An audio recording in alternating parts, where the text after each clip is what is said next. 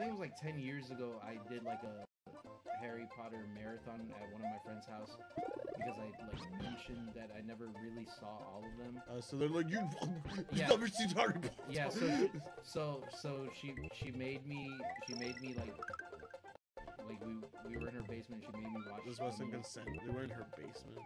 Well, that's where we all watched the, all the friends hung out, and we and uh, we watched the Harry Potter marathon.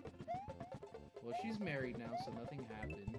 I mean, I'm not saying anything like that happened. It just sounds like you got tortured and made too much Harry Potter. Well, bas you know, it wasn't that kind of basement, but I mean,